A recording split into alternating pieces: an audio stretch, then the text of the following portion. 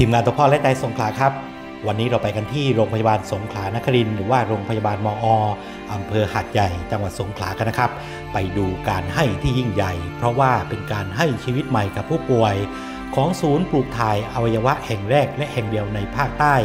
ของโรงพยาบาลมอนี่แหละครับ ตอนนี้ทางศูนย์ปลูกถ่ายอวัยวะของมอเขาจัดกิจกรรมขายเสื้ออยู่นะครับ เพื่อนำรายได้มาใช้ในงานของศูนย์ปลูกถ่ายอวัยวะ และก็ช่วยเหลือชีวิตผู้ป่วยที่เข้ารักษาที่โรงพยาบาลมอ ใครที่จะไปช่วยซื้อไปเลือกดูได้ครับที่บริเวณบูธหน้าการเงินผู้ป่วยนอกโรงพยาบาลสงขลานครินนะครับ มี 500 ตัวตัวละ 499 บาทครับ มีหลากหลายสีให้เลือกนะครับ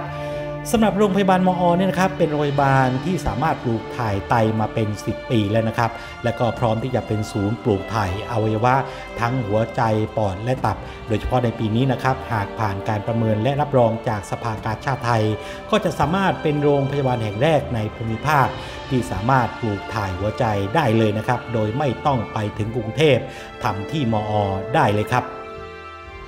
ควบคู่ไปกับการสร้างเครือข่ายรับบริจาคอวัยวะใน 14 จังหวัดภาคใต้เพิ่มโอกาสผู้ป่วยที่รอการปลูกถ่าย ให้กลับมามีชีวิตอีกครั้ง เพราะว่าการปลูกถ่ายอวัยวะนี่ทุกอย่างต้องพร้อมแข่งกับเวลาในการรักษาสภาพของอวัยวะที่บริจาคให้สมบูรณ์ที่สุดก่อนนำไปปลูกถ่าย เช่น ปลูกถ่ายหัวใจนี่มีเวลาแค่ 4 ชั่วโมง ปลูกถ่ายตับมีเวลา 12 ถึง 18 ชั่วโมงเท่านั้นนะครับ เพราะว่าทุกเสี้ยววินาทีคือชีวิต ทีนี้มาดูเรื่องของการขายเสื้อที่ระลึกเพื่อระดมเงินบริจาคเข้าศูนย์ปลูกถ่ายอวัยวะกันนะครับ นี่ครับคนนี้เลยครับนายเฉลิมชัยครุอัมโพหรือว่าเท่าแก่หลีเฮียหลีพี่หลีแล้วแต่จะเรียกนะครับ นักธุรกิจเจ้าของโรโมหินในจังหวัดสงขลาที่ช่วยควักเงินซื้อเสื้อจำนวน 500 ตัวครับมาขาย ขายได้เท่าไหร่เอาไปเลยครับ ไม่หักสักบาท เอาเข้าศูนย์ปลูกถ่ายอวัยวะไปเลยครับ ถ้าขายหมดก็จะได้เงินดาวๆ250,000 บาทนะครับ รีบไปเลยครับ ไปซื้อกันเลยไปช่วยกันได้เลยนะครับ เพื่อมอบชีวิตใหม่ให้กับคนอื่นด้วย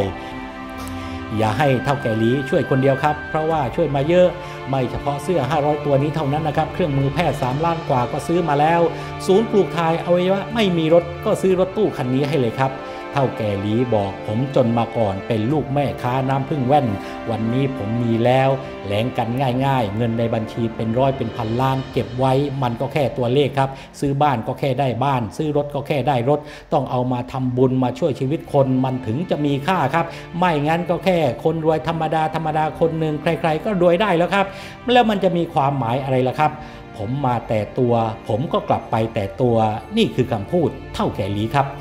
เมื่อพูดถึงเท่าแก่ลีนี่เอาซะหน่อยครับ ไม่ใช่แค่จะช่วยศูนย์ปลูกถ่ายอวัยวะของมออย่างเดียวนะครับ ตลอด 10 ปีที่ผ่านมาสร้างโรงพยาบาลก็สร้างมาแล้วครับ 50 60 ล้านก็ให้มาแล้วครับ สร้างไปเลยครับ แม้แต่ซื้อผ้าอนามัยให้นักโทษหญิงก็ซื้อให้แล้วครับ ซื้อแม่วัวให้คนที่บำบัดยา ก็ซื้อมาแล้วครับ แต่ว่าส่วนใหญ่ก็จะเน้นเรื่องของการช่วยเหลือโรงพยาบาลช่วยเหลือคนช่วยเหลือผู้ป่วยช่วยชีวิตคนอะไรแบบนี้ละครับ นี่ครับที่เขาเรียกกันว่าหัวใจใหญ่กว่าตับคนนี้แหละครับนะครับ ก็อยากจะขอเชิญชวนมากคนที่มีโอกาสในการทำบุญ หรือว่าแบ่งปันเนี่ยก็อยากจะขอให้ทำในช่วงที่ยังมีความสามารถในการทำนะครับสำหรับผมนี่ก็อย่างที่พูดก็ตั้งปฏิญาณไว้แล้วว่าจะพยายาม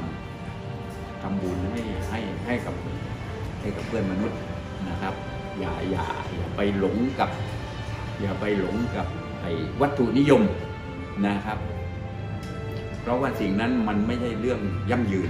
ทีนี้มาดูที่มาที่ไปของศูนย์ปลูกถ่ายอวัยวะแห่งแรก และก็แห่งเดียวของภาคใต้ของมอนะครับ เดี๋ยวไปฟังรองศาสตราจารย์ แพทย์หญิงมนทิรา ตันธนุษหัวหน้าศูนย์ปลูกถ่ายอวัยวะโรงพยาบาลสงขลานครินทร์พูดให้ฟังกันครับ อันแรกที่เราทำก็คือปลูกถ่ายไตตั้งแต่ปี 2540 นะคะโดยในช่วงแรกเนี่ยก็จะเป็นการปลูกถ่ายระหว่างญาติพี่น้องนะคะก็คือในครอบครัวให้กันเองก็ในช่วงแรกก็อาจจะน้อยหน่อยในช่วง 10 ปีแรกเนี่ยก็ปีหนึ่งสองราย หลังจากนั้นเนี่ย 15 ปีหลังเนี่ยก็จะเป็นเจ็ดถึงแปดราย เพราะว่าเราเริ่มปลูกถ่ายจากผู้บริจาคที่สมองตายนะคะเราก็จะได้ผู้บริจาคค่อนข้างจะเยอะขึ้นค่ะค่ะ แล้วก็หลังจากนั้นเนี่ยเราก็ขยายการบริการ เพราะว่าในปัจจุบันเนี่ยอวัยวะสื่อมค่อนข้างหลายอวัยวะนะคะ ก็พัฒนาไปสู่การบริจาคตับและบริจาคหัวใจนะซึ่งเราก็จะทำการรับรองจากสภากาชาติภายในปีนี้ค่ะกาชาติก็จะมาตรวจประเมินแล้วก็น่าจะเริ่มดำเนินการปลูกถ่ายหัวใจได้เป็นแห่งแรกของภูมิภาค ของสถาบันในภูมิภาคค่ะสำหรับผู้ที่ต้องการจะบริจาคอวัยวะ สามารถติดต่อได้ที่จุดรับบริจาคอวัยวะโรงพยาบาลสงขลานครินทร์ชั้นหนึ่งหน้าการเงินผู้ป่วยนอกทุกวันอังคารและก็วันศุกร์นะครับ หรือว่าโทรสอบถามรายละเอียดได้ที่ 092 538 9468 และ 074 451 729ทั้งหมดนี้เป็นเรื่องดีๆ ที่ทีมงานตัวพ่อและไตสงขลาเอามาให้ได้ติดตามกันนะครับ ไม่มีอะไรที่จะ ยิ่งใหญ่ไปกว่าการให้ชีวิตคนอื่นอีกแล้วล่ะครับ ขอบคุณเท่าแก่หลีคนนี้ครับ